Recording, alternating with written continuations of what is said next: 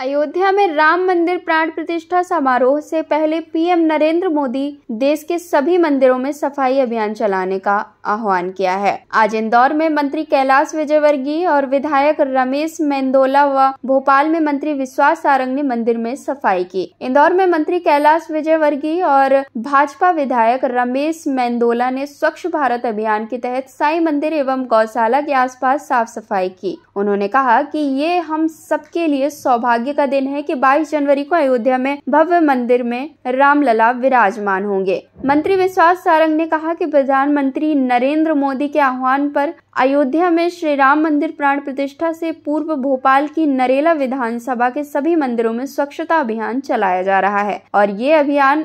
अनवरत जारी रहेगा